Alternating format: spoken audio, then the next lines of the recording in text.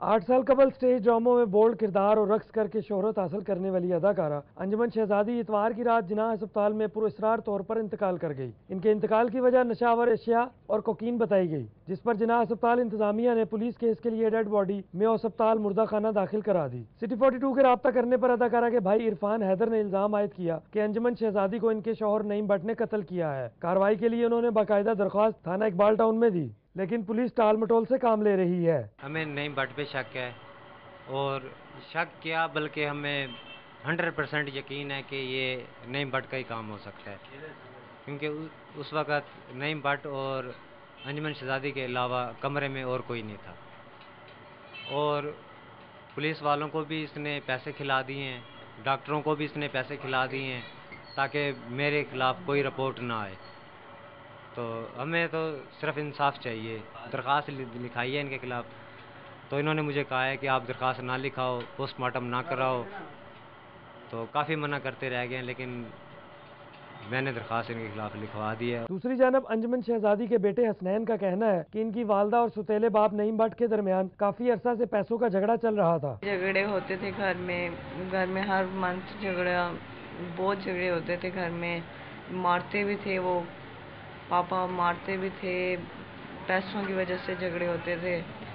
بہت کبھی گلاس ٹوٹ رہے ہیں کبھی ٹیبلیں ٹوٹ رہی ہیں کبھی لڑ رہے ہیں کبھی کوئی چیز اٹھا کے مار رہے ہیں۔ بہت جھگڑے ہوتے تھے اور یہ کافی دفعہ کوشش بھی کیا ہے انہوں نے مارنے کی۔ اداکارہ انجمن شہزادی کے محلے داروں کے مطابق بھی دونوں میاں بیوی کے درمیان جھگڑا معمول بن چکا تھا۔ ہاں ان کے گھر جھگڑے ہوتے تھے۔ ہم باہر ٹیرس میں کھڑے ہو کے دیکھتے آوازیں سنتے تھے۔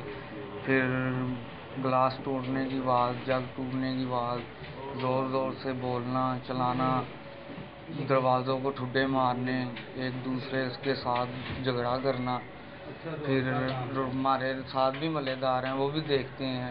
ہم بھی کھڑے ہو کے دیکھتے ہیں کہ یہ کیا تماشا انہوں نے لگایا ہو اور زیادہ نہیں بھائی، ان کے ان کو مارتا بھی ہے پیٹتا بھی ہے۔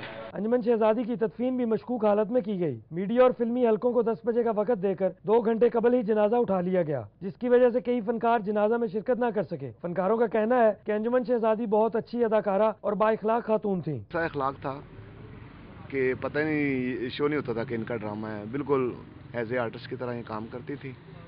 اور بار بار میں ان کا یہی کہوں گا کہ اللہ تعالیٰ ان کو جنن نصیب کرے۔ آج تک میں نے کبھی ان کو لڑتے ہوئے نہیں دیکھا کبھی کسی سے اگر کسی نے کوئی زیادتی کر بھی دی ہے تو وہ اس طرح ہنس کے اس کو ملتی تھی کہ وہ سارے گلے شکوے دور ہو جاتے تھے۔ لوائقین کا پولیس پر عدم اعتماد اور انجمن شہزادی کے خاوند کی جانب سے تدفین میں جلد بازی نے اداکارہ کی موت کے حوالے سے کئی سوالوں کو جنم دیا ہے جس سے مزید شکوک و شبہات پیدا ہوتے ہیں کہ یہ قتل ہے یا طبی موت۔ اس کا فیصلہ تو آنے والا وقت ہی کرے گا۔ کیمرہ مین ذیشان یوسف کے ساتھ زین مدنی سٹی فورٹی ٹو